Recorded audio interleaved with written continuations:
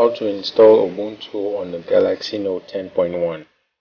First, download the links in the description, copy them over to your tablet. Make sure you have a custom recovery installed on your tablet. In my case, I'll be using TWRP. Reboot into recovery and you wait for your device to reboot. There are mainly two CWM and the TWRP recovery. I'm using the TWRP recovery in this case and then when your device reboots make sure the first thing you're going to do in your recovery is back up your ROM you hit back up and wait for it to back up before doing this because Ubuntu may mess up your device. Then wipe wipe the system.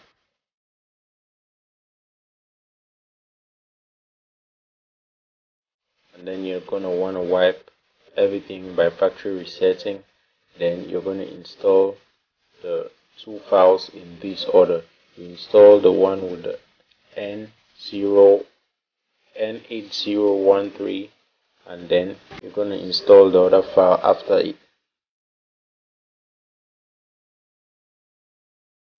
in this case I can use TWRP to flash the two files at the same time and you wait for the the ROMs to completely be flashed and wait for it to boot and there you have it Ubuntu on your tablet.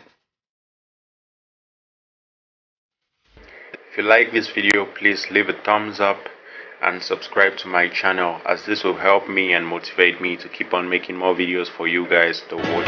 Thanks for watching and stay tuned for more videos.